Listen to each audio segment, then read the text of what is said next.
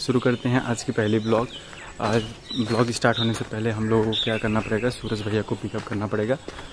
तो चलिए सूरज भैया के घर पे चलते हैं। उनसे बात करते हैं उनसे मिलते हैं उनको पिकअप करते हैं फिर अपने डेस्टिनेशन पे चलते हैं। भैया? ओहो हो भैया नमस्ते। तो कैसा फील कर रहे हैं आप? एक्साइटेड चलो देखते हैं आज क्या होता है। दीपक भैया नमस्कार। नमस्कार। कैसे हैं आप? इनके लिए अरे दीपक भैया तो हमारे आएँगे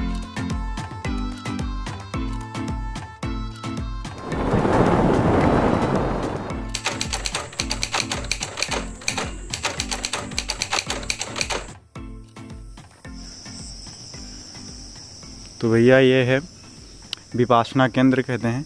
भैया कुछ बताइए विपासना केंद्र के बारे में। यहाँ पे खासकर मेडिटेशन विपासना मतलब क्या होती है? चलते चलते बात करें। विपासना मतलब तो विपासना मतलब क्या होती है? जैसे कोई डिप्रेशन एनजाइटी का पेशेंट है नहीं? तो उसको विपासना केंद्र में आके कितने एक महीने का ड्यूरेशन रहता है ना भैया? हाँ मतलब वैसे कर सकते हैं आप लेकिन यहाँ पे तो खासकर अभी बीस मिनट के लिए ही बनाया गया है। अभी यहाँ पे लुम्बिनी में 20 मिनट के लिए बनाया गया है। आप आ सकते हैं विपासना केंद्र में ज्वाइन कर सकते हैं और यहाँ का ब्यूटीफुल पीसफुल जो यहाँ के टीचर्स वगैरह जो इंस्ट्रक्टर होते हैं उनसे आप सीख सकते हैं। फ़िलहाल तो ये हम लोग पहुँच चुके हैं अपने डेस्टिनेशन की ओर। देखिए कितना ब्यूटीफुल व्यू है।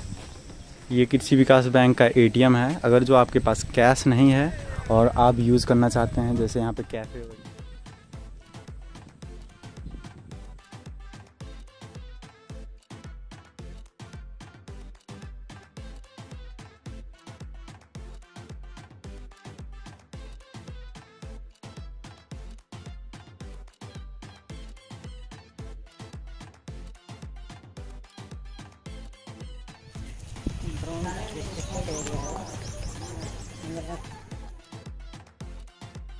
बॉडी गार्ड भी लगे हुए हैं नहीं भैया?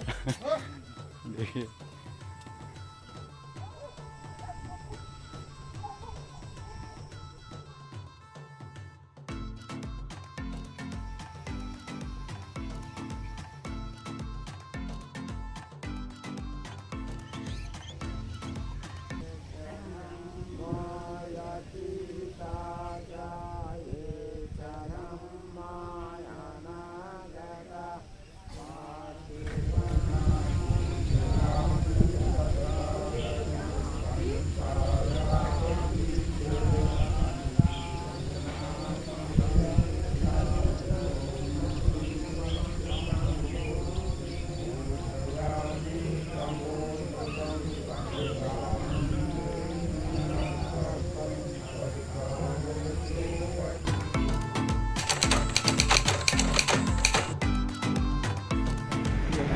चलिए भैया हम पहुँच चुके हैं।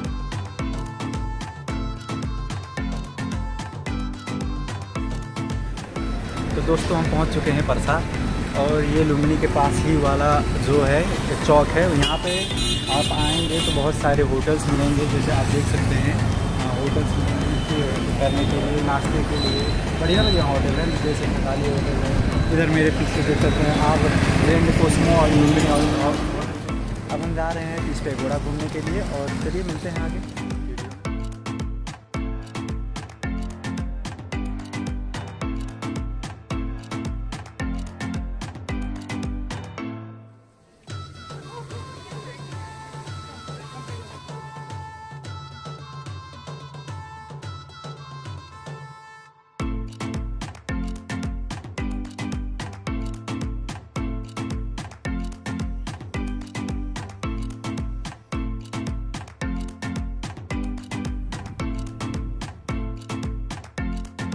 तो भैया हम पहुँच चुके हैं लुम्बिनी के एक ऐसे स्थान पे जो कि बहुत ही ब्यूटीफुल मतलब यहाँ आने के बाद ना हमको इधर उधर जाने का मन ही नहीं किया।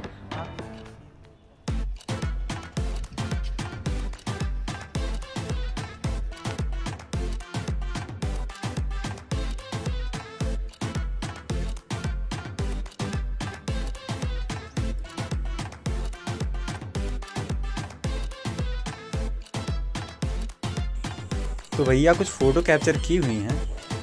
देखिए कौन सा वाला पसंद आता है। कमेंट सेक्शन में ज़रूर बताना। चलिए मिलते हैं आगे।